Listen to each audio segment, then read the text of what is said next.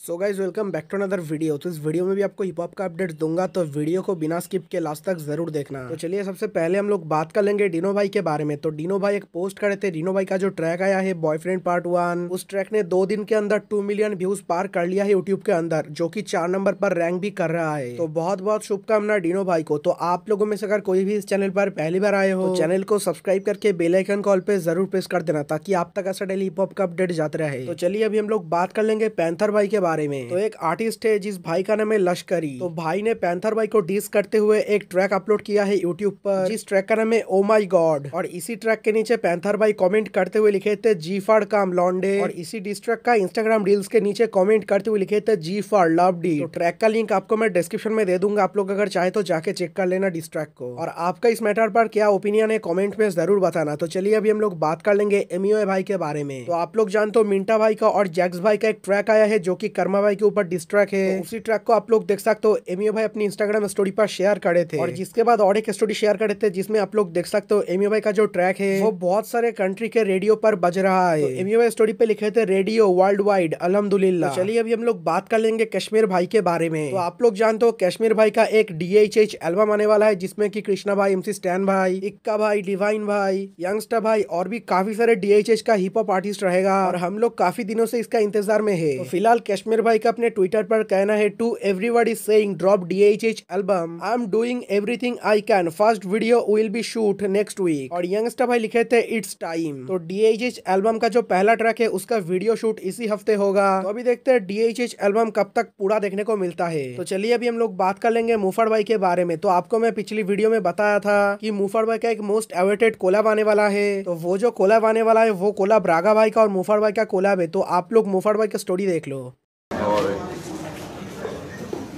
आ रहे हैं। बता देना।